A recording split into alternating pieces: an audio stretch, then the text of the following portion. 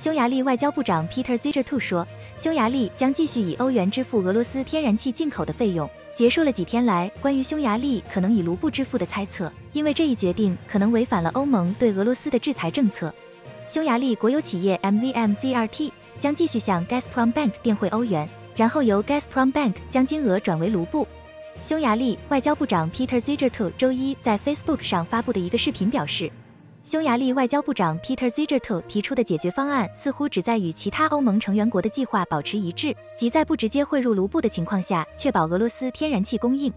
与普京关系最密切的欧盟成员国领导人。匈牙利总理维克多·欧尔班 （Viktor Orban） 上周告诉记者，他认为购买俄罗斯天然气支付卢布没有问题。这加剧了人们对匈牙利可能打破欧盟因俄罗斯对乌克兰的战争而实施的经济制裁的猜测。俄罗斯总统普京最初要求用卢布购买天然气，作为对不友好国家的报复行动，以报复西方的全面制裁。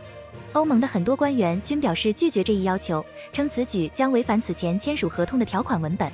此后。克里姆林宫公布了一项总统令，概述了允许外国买家通过一家俄罗斯国家控制的银行将其美元和欧元兑换成俄罗斯货币的机制。